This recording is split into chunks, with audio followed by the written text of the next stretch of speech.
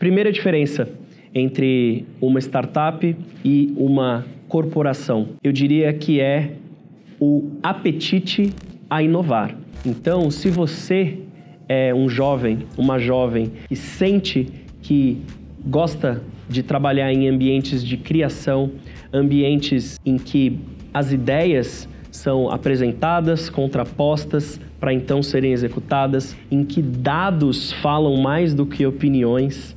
você certamente vai gostar dessa dinâmica de uma startup. Segunda diferença, as startups, elas precisam de agilidade para sua própria sobrevivência. Então, se você tem essa característica de gostar de trabalhar em ambientes muito dinâmicos, que também mudam o tempo inteiro e que trazem um desafio de adaptabilidade, a startup também pode ser um lugar muito interessante para você. E o terceiro, se você é uma pessoa que gosta de tecnologia e de pensar como uma tecnologia em um produto pode transformar a forma como a gente vive hoje e no futuro, eu diria que uma startup também é um lugar para você, porque é ali onde